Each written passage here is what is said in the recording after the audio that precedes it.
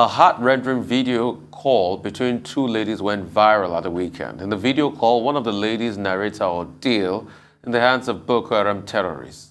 She speaks of the horror of abduction and rape multiple times by terrorists. Saw horror. Wallahi tallahi idan abu yana kama the the the the the the the yawm al Allah ina gana shi when I was in captivity. I saw that. I saw horror. I still have nightmares, bad nightmares sai an rike ni har yau har gobe. Akan horror sun da na gani. Akan horror sun da na gani. That's why I left Nigeria. That's why I'm here. But wallahi tallahi, if you have not been through what we've been through, a lot of us that have been in captivity and been raped multiple times by terrorists, you would not know. You would not know the pain. You would not know the agony. Nobody Nobody believed me. Nobody said anything. The lady in the video is Hafsat Maina Muhammed, a married woman, mother of six children, an indigene of Gwoza local government area in Borno State. Before her abduction, Hafsat worked as a full-time journalist in Kano for Pyramid FM, Liberty Radio, TV FRCN, and uh, Kaduna and uh, Freedom Radio Jigawa State. Hafsat was forced to flee Nigeria for the United States after her release from captivity, and she worked briefly for the Voice of America at Washington, D.C. Today, like a few women in northern Nigeria, she has decided to speak out to bring attention to the horrendous crimes being perpetrated against women and children in our region in the hope that the government and international community takes decisive action to end the onslaught. Now, joining us from a base in Prince George County, County, I should say, Maryland, USA, is Hafsat Maina Muhammed. Good morning, Hafsat, and thanks for joining us on the morning show. Hafsat, good. Uh, uh, thank you so much this morning for your bravery and courage to share your experience because it takes a lot. Uh, what was it like? What was the story like? How were you kidnapped? How did you get in the den of Boko Haram? Good morning. Um, I remember traveling along the way and um, along the way of Gwoza, coming back to Maiduguri, I was doing um, uh, my humanitarian work that I did, um, going around helping people. I came back safely that day and um, I proceeded to Yobe State where um, I had other things to do. Um, suddenly, as I walked into the neighborhood, uh, which, well, I lived like not far from the forest or from, you know, a, a, a civilization. Um, I heard this young girl scream. I heard this young girl scream, and um, this is the same young girl that you know um, when we got captured, she was in captivity. She's only nine years old, as old as my daughter, as a den. And I heard her screaming in an uncompleted building as I walked silently trying to get home. And um, this was after the escape. So we were walking, we were walking. Um, you know, we rested. It wasn't just me. And um, this this young girl, you know, she has energy. She was running. She was running until after she had she was ahead of us and she got caught again by another group of the Boko Haram terrorists. And I've been saying a long time ago that they are factions of Boko Haram. So it's not just, you know, like one group entirely, they are factions of them. So I don't know which faction that was, but this girl was in their hands and it was about six of them. They were about to rape her they were about to do whatever they were about to do. And I heard her and I traced the voice. Uh, the other ladies and the young guy were telling me, just keep going. Just keep going. They might kill you because you're older than her and you, you you're trying to intervene. But the cry I heard was just the cry of my own child. She's only nine for crying out loud. Why why do they why are they trying to inflict pain on their poor child? Uh, took the bull by the horn. Um, I don't know if it was the right or wrong decision. I wasn't thinking. I I found I traced them you know, in that uncompleted building in the in the midst of nowhere. And um, I told her to run. As soon as I got the attention on me, I told her to run. I told her to run. I, I told her, Kibudu. I said, Kibudu, Kawe. That's the only thing I can remember myself saying, Kibudu, just run. And then, of course, they turned on me and they took turns, one after the other, one after the other, until they were done. In short, that I was battered enough that I couldn't walk that very minute. I laid there. I don't know if I fainted. I don't know what happened to me. I laid there in that uncompleted building till, you know, I heard the call of prayer, and that's what woke me up. And as I woke up, uh, I got myself up. I walked. I walked slowly. I, I was bruised. I was wounded. I was hurt. I was bleeding.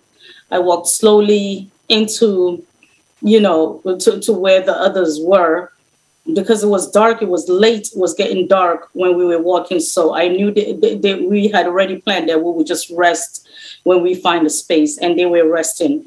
I knew the path of where we were going or where I left them at. Um, I walked back to where they were.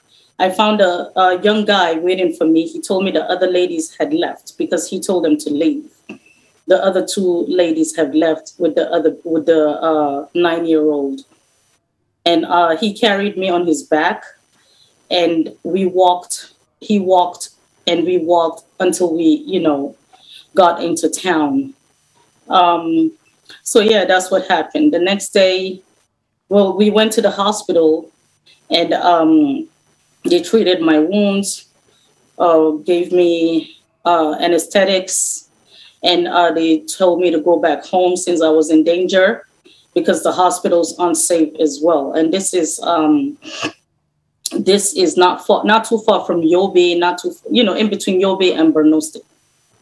So um, I slept um, through the next day.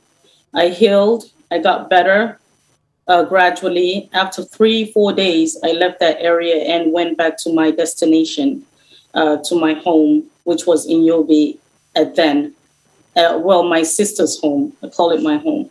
And I stayed there, my cousin, um, and I healed. She didn't know what happened to me. She just thought, you know, I'm just activist that always, you know, goes to the bush and helps people after a bomb blast. She just thought I got wounded by the trees and whatever. I didn't tell her nothing. I didn't tell anybody anything because I was not about to be stigmatized uh, already I'm I've been stigmatized by the work I do. I was not about to be, you know, further stigmatized, so I kept it to myself. I remember going to the police and they told me to stay safe. Uh, sadly, and that was it for me. Um, I was hurt.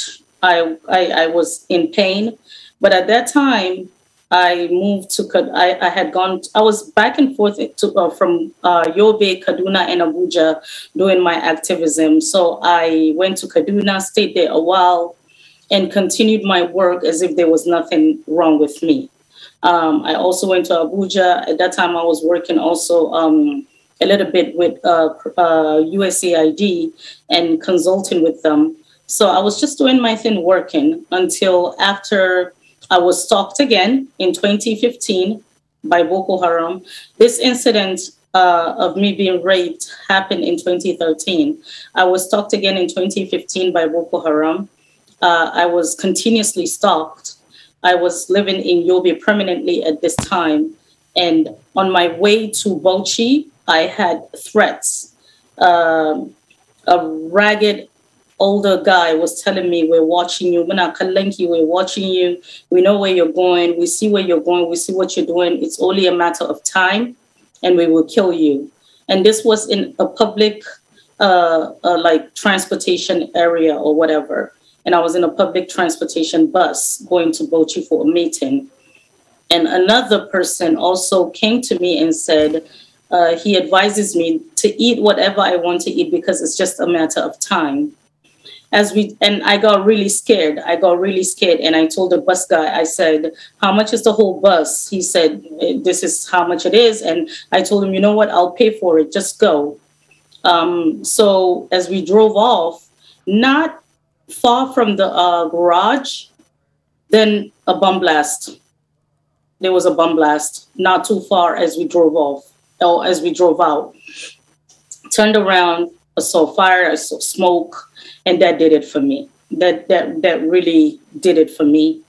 Um, I went to Bauchi and um, told my ordeal. I was flown to Abuja um, and then kept somewhere safe. And we went to make a report at the headquarters there in Abuja, the police headquarters. And um, sadly, we were brushed off, or should I say, I was brushed off. And it was like just another normal complaint for them that they decided not to look deep into or to give regards to. Um, so from there, I, they started my process to fly me out to come here to the US and be safe. So that's a summary of it, really. Okay, start. Well, quite a moving story there, but could you tell us about one, the NGO that you run, the program that you are involved in, uh, in some great detail, and secondly, your assessment of how the Nigerian government has been dealing with this, you know, uh, challenge of abduction, the effect on the school system, and also the security uh, situation the country. Okay, uh, the, the, the NGO I started uh, called Choice for Peace, Gender and Development. Um, it was because of that little girl and because of my own child or my own children that I would bear years after or you know in the future. I thought of them as you know girls really not having a choice, especially in where the part I come from, northern Nigeria, we really don't have a say. We don't have a choice. The stigmatization on everything we do is really heart wrenching. And the fact that if we if we complain or or try to talk about our ordeal, be it gender based violence, be it uh, uh, being raped, be it um, molestation, be it whatsoever, be it um, um, what do you call it, being bullied at work as a female, as a journalist uh, in, in northern Nigeria. I remember being bullied a lot by my colleagues and whatever. Um, I remember being sidelined, even though I was very qualified and capable for a particular show or whatever. I remembered being sidelined and so on and so forth. So we not being able to speak up really was so it was something that was hurting my soul deep down. It was something that I would go on and I'm like, oh, just another day of me maybe going through something and I can't even talk about it. This is how I came about Choice for Peace, Gender and Development. And when I say gender, I'm not just talking about, well, mostly I'm talking about the female gender, but I'm also talking about the male as well especially the young guy who is just trying to make it in life honestly and is being targeted or bullied or reduced to nothing.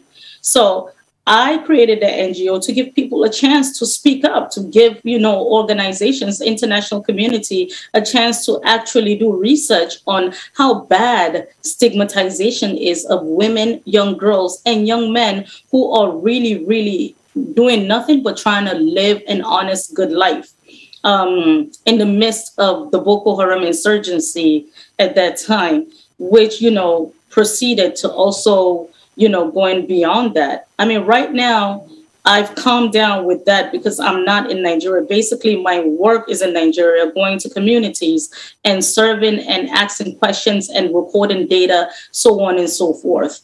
So from where I am, it is really hard to maintain that uh, that pace but I'm still trying as much as I can to get enough data to get women to speak out, to tell them it's okay. You know, it's really okay. I found my voice amidst everything. I found my voice. One thing I know I am happy about with this NGO is that my father, when he heard about it, he believed me. He did not tell me I was lying. He did not discard my story. He believed me and he supports me and he prays for me. That kept me going. That has been something that's been like a powerhouse for me. The fact that my dad believes me, the fact that somebody really hears me, you know? So that was the whole aim of uh, Society for Peace, Gender, and Development. Now, uh, the next question was about um, government, uh, government efforts. What's about government effort? Like I told you, after my ordeal, um, and I've had encounters with police and the government, um, so on and so forth. Even even even as going down to the state level with legislators and senators, we've you know come up with bills about hate speeches and hate crimes. Remember, I remember that doing that in Kaduna with a particular NGO. But you know, it, I don't understand why it is so hard for the masses in the society to have a listening ear or to have a document read and, and, and, and, and for them to go through a document that is really going to help the society. I also remember we created a program in Kaduna for the youth. Um, it was it was a long shot. It was as simple as them playing sports it, we didn't need anything. All we needed was equipment, and we didn't have personal money to um, have the, that equipment. Me living in the international community or the US and traveled outside of the country a lot way before I came to the US, I've seen how government effort is being put if it's even even though it's not perfect, even though it's not hundred percent, but I've seen how government effort is being put in place. You know, at least to um, relieve people of their of their worries, of their complaints, of of jobs, of, of, of, of justice, of accountability. The Nigerian government lacks accountability, and I'm not just talking about now. I'm talking, and I'm not talking just about the presidency. I'm talking about I'm talking about the senators. I'm talking about the legislators. We elect them, we vote them, we put them in those offices. Yet we have no right to ask them questions. Yet we have no right to say this is going on we need you to be in your constituency. We need you to really look into this. They don't, we, we can't even request that. We cannot have that as citizens. It's, it's really disgusting. It's, it's unacceptable. It isn't fair. It isn't fair. We are living in a democracy. We're not living in a dictatorship. So why don't we have a voice? Why can't we be heard? Why can't we protest peacefully when we do not agree with something? Why do we have to always say, yes, sir, yes, ma'am? Just like Fela's song that says zombie or zombie. We, we don't have to live in such a manner. And we don't have to accept it. Well, Hafsat, well, good morning. Good morning. First, I'd like to commend you for your courage in bringing uh, attention to these horrendous crimes being perpetrated against us women by these terrorists. Now, you're presently in the United States and you, seek, you went to seek refuge there, is that correct? Yes. Now, in that video, you talked about how there are no, uh, you know, refugee situations for victims of Boko Haram. Can you share with yes. us details of your advocacy? Because I have seen through your Instagram that you are advocating for victims such as yourself to, you know, get this type of refugee situation that you have at this point. Yes, and um, I will tell you that uh, there is a law, the the the the the VAP law here in the United States that allow for people who have been in domestic violence or situations like that, refugees coming in, can seek protection and stay in the United States. But what I'm talking about basically is that even the women, like if you do not have somebody by your side who knows, you know, what to do and is educated to guide you on saying you can seek refuge here or you can go here. And I'm talking about refuge, refugees uh, around the world and us like victims going around the world seeking refuge. I, I, I know of a couple of people who have sought refuge because of this um, uh, insurgency that happened, you know, in the northeastern part of Nigeria and other places. But it's just a few of us. It's just like three out of a hundred. Now, and and and I can really, I can really beat my chest and tell you, I'm the only Hausa person that I know from the north, like uh, uh, uh, uh from the southern part of Borno, that I know that has sought refuge to stay here, you know, amidst what happened to me.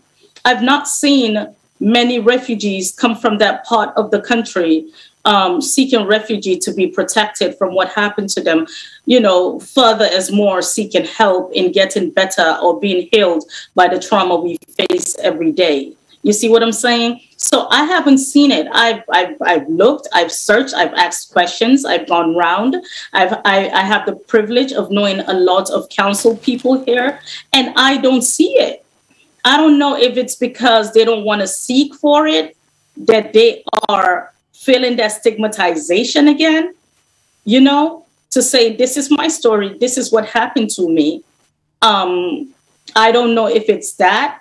And I, you know and i'm really trying to call on women to seek refuge it, if it's not in america you know? If you feel i felt as though i had to leave i had to leave because i knew i was suicidal I, and I can't say this as a northerner freely and say this is what this is my disease. This is the disease I've had, being suicidal, after all of this um, Boko Haram situations that I've been into. Being suicidal just at the mere fact that I had to take in a lot of babies that were born after a bomb blast, seeing all of that in my dreams and stuff like that. So it, it's really sad that it's not just me. I'm sure there are many women out there who maybe are not as educated as I am, but still they still went through horror. They they still had nightmares. I know a couple of women in northeastern parts of Nigeria who committed suicide after they were attacked by Boko Haram, raped, or so on and so forth. You know, I know a lot of IDP young ladies who thought, who didn't even know they could seek re- refuge outside the country and, and survived. They went back to their captors. They went back to Boko Haram, even after being rescued. It, it's sad because this is the life that they are going to make normal. Uh, and and they are going to continue to be brainwashed that um, this is how you should live. I do not understand why it's okay for uh, the manly world to tell a woman who's also created by God equally that this is how we should live. You know, I've had this, and maybe that's why I didn't fit in in northern Nigeria. I've had it ever since when I was growing up as a child to be an independent thinker. I don't know why that is such a big problem, you know.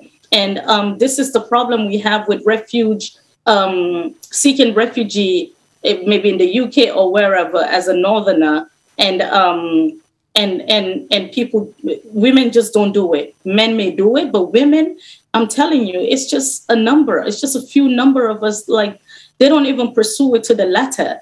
They give up. You know, when they could be somewhere and be safe and heal. What I'm saying is, even if you don't want to stay in that country for the rest of your life, but at least go somewhere secured and somewhere that you can get help from. Because Nigeria is not providing that help. We don't have those amenities to say, okay, this is this is a trauma center, a trauma hospital that is just catering for trauma victims, PTSD uh, victims. We do not have stuff like that that really is in depth, even though we have a lot of psychologists who are very, very, very professional in whatever they do. But can we really say this is a trauma hospital where, you know, the make Osai on the street. Maybe she's been battered by her husband and has and has seven children and she's you know frying akara on the street but she still lives with that trauma. Can she freely walk into that center and say hey i need help hmm. you know? Many, so this many, is many questions you're raising this morning you know? And while you were saying all of that what was just spinning in my head was where do the broken hearts from this book where go. insurgency go? You know, where, where do they do they really find their way home? I doubt. No, they don't. You know, they don't. It's, it's they don't. They don't find their way home, and that is what is hurting me because it's going to be something that my society, not just the northern part of Nigeria, is going to be something that our young girls will live with for the rest of their lives. I am battling it right now. I'm happy in another form. I have my family, I have a supportive husband, I have kids. But every day, when you think about those little girls who are motherless, who the government is ignoring and are not getting enough help, wallahi, wallahi, it's hurtful. And that's why I get re traumatized because I'm connecting to them on a personal base. even if it's not happened to you like don't we have a heart? Don't don't aren't we empathetic anymore? Aren't we human? How are we humanizing things that aren't human but we are not humanizing somebody who's been a victim and traumatized? Let me cry. Let me feel my pain. Let me heal without you stigmatizing me or calling me a liar or, or, or, or castigating me in my society. Let me be, let me live. The way I would live and have a fruitful life is by being healed, is by talking about my trauma, is by getting the help I need. How many young girls or women or young men or men are going to seek help and have help? How many? Well, Hafsat, I like your point about trauma care and also about counseling. Uh, it's something we push all the time when we deal with this kind of topic on this program. But I would like to ask you, for purposes of clarification, uh, what you went through, was it a combination of abduction and rape, or abduction or rape? And then, you know... Abduction and rape. Both, okay. We've been talking about seeking refuge abroad and all that. The simple word is exile. But it's not everybody that will have the opportunity to go on exile. So, what do you say to those young persons uh, who have gone through a similar experience and who may not have the benefit of the kind of option uh, that you have chosen? That's a hard question to answer because what would I say to them? What, what would I say to them? I would tell them there's power in their voices and they need to speak up uh,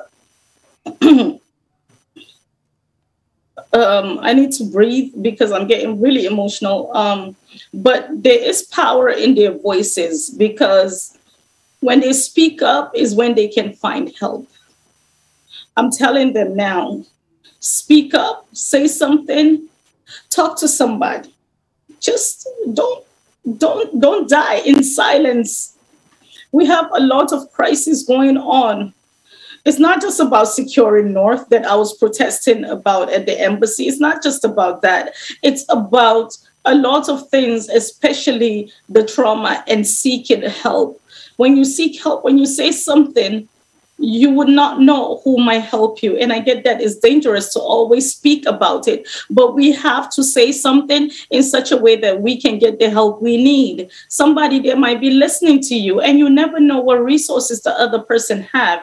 And I will tell people, educate yourself, study, educate yourself. There, there, there, there is the leverage of the internet, a lot of free information on Google look for it. See how you need help. See how you can get help. See who can help you you know? And i will let you know that i am honored that the people who helped me with my asylum when i got here was human rights first in connection with Ballard Spahr. Ballard Spahr is a law firm who deals with you know uh, international refugees. They if you file through human rights first they connect you with their pro bono lawyers, I had not ever paid one dollar.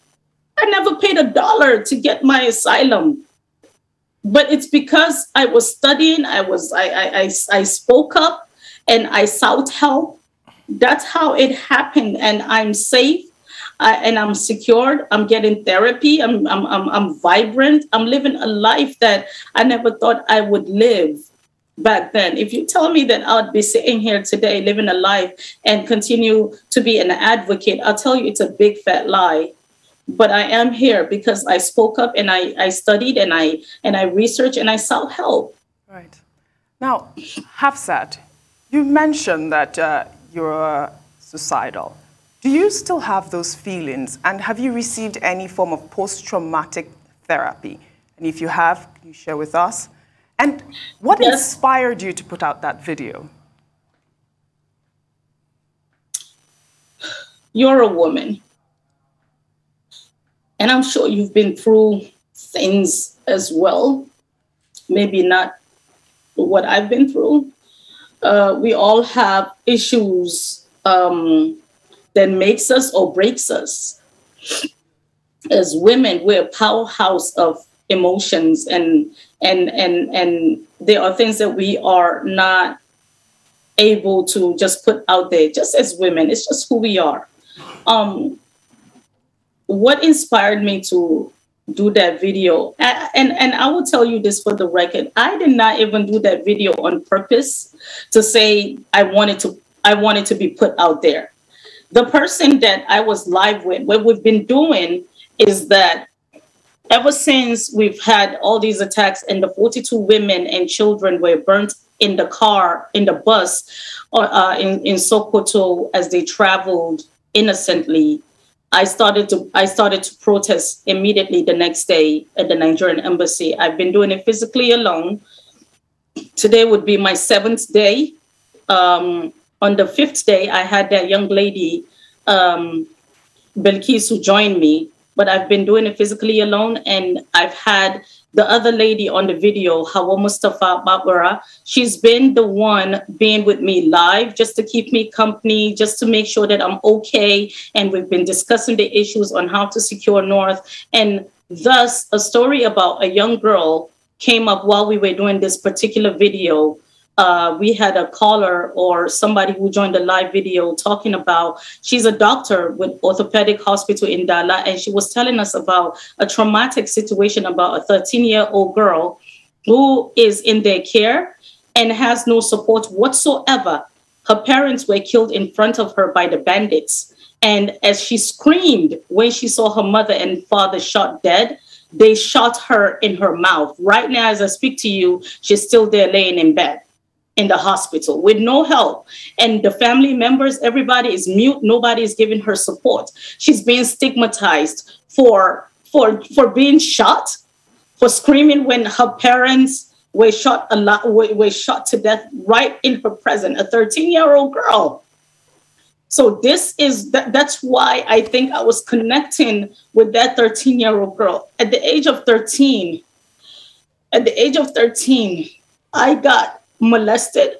I, I've been molested, not by Boko Haram, but by a family member who still till date, when I hear or see his name written, even if it's not that person, I get traumatized. And I guess it's been a, a back to back, back to back experience for me about rape, about molestation, and all of that, about about being beat up you know, by my ex-husband, about, you know, all of that just put together that made me not want to live. It was like there's nothing more to live for. And up till today, well, today I get PTSD uh, medications and, ter- and therapy. I would say it's subsided. Uh, as of two years ago, I had those thoughts like badly, badly, badly, especially when I saw victims who couldn't get help, especially when I fell down and then I'm like, what am I living for? And I think this is where we need to always find that uh, common ground in ourselves of saying, I need to find something concrete to live for. And in this case, I've, I've told myself that my kids are worth living for. My husband right now is worth living for. I cannot do an injustice to them by feeling like I want to kill myself because of my traumatic experiences. That was just a part and an episode of my life. It might never go away, but you know, healing is one day at a time. Trauma mm. healing, PTSD healing is like a dance. It's not a switch of a light. It's not like a light switch. It's a dance. You keep dancing, you keep dancing, making different moves until you, you know, get mm. the get get comfortable with yourself. Mm. And you know, and and as you walk through that journey of healing, you know, we can always wish you always wish you the best here. You know, and you just remind me of the words of Rumi that says, uh, "A wound is what lets the light in," and because of the yeah. wound you have gone through, I'm sure that the light will come into your life and radiate yes. through. I just Thank want you. to ask you this. Recently, spokesperson of the president uh, I mean, uh, Minister of Information, I should say, put a statement out, say things are not that bad in the north, that the government is gaining grounds as regards the fight against insurgents. You've been there, you've seen it firsthand. How bad is it, and what would you like to say? you know, to the Minister I of Information. I would like to ask him, how is he coming up with that? Where is his data to say that? People are dying. People are being abducted day by day. I have messages. I have, I don't care if it's not happening to you or it's not happening to your next door neighbor, but the ordinary person traveling on the road, we see it every day in Kaduna. Go to, go to, um, go to the social media, Twitter, Instagram, Facebook, uh, TikTok, whatever. Go online. You will see people posting, and people that don't even have social media, they send it personally to other people. This is what's happening. Even yesterday or day before yesterday, two days ago, uh, I was told, I was told a story about three bikes. Only three bikes were successful in stopping over 1,000 cars coming along from uh, Abuja to Kaduna Highway. Like, what is he talking about? I expect more from him from somebody that's educated and somebody that has, you know, come up with great ideas and things. It's not that bad, but if one soul is gone, if 42 people can be can be burnt alive to ashes with babies inclusive, pregnant women, young vibrant men, how you telling me that it's not that serious? How? Is it because you're okay? Is it because you're sitting at the comfort of your home and you can travel abroad and and have the luxury of life? Is that why you're saying it is not it, it is it, it, it, is not that bad? Like I always how my, my I have questions too, Reuben. I'm telling you, I have no answer. All I have for him is questions. How? What is your data? What is your basis of saying it, it it's not that bad? Do you think an innocent soul being killed is not that bad. One, even if it's one innocent soul, do you think it's not that bad? Shouldn't shouldn't there be more security where 42 people can travel safely to their destination without being burnt alive and their babies being burnt alive and pregnant women having to give birth before their due dates and dying in the in the bus? Isn't that bad enough? Well, How dare he? How dare he? good point. Thank you very much, Hafsat, for joining us on the morning show.